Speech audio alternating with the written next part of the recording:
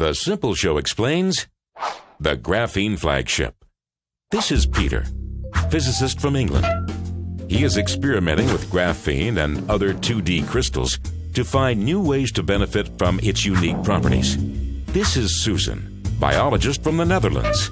She likes graphene for its biological compatibility and uses it for DNA sequencing.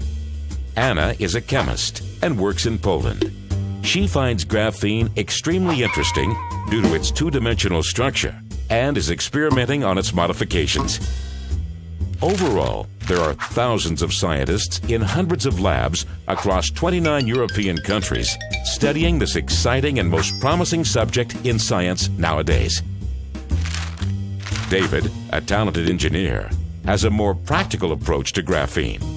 He works for a big electronics company in Finland. His boss commissioned him to develop new applications for their products.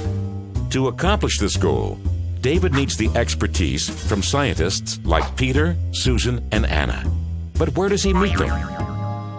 At the Graphene Flagship. This graphene community, initiated by the European Commission, joins both scientists and industries. Thanks to the Graphene Flagship, David can quickly build a network to scientists and hundreds of other European companies working on graphene applications. Due to this collaboration, the entire value chain, from materials production to component fabrication and systems integration, can be covered.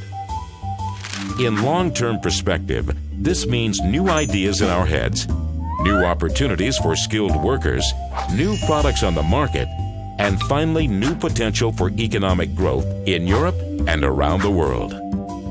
With people like Peter, Susan, Anna, and David, the Graphene Flagship is creating the way to our future.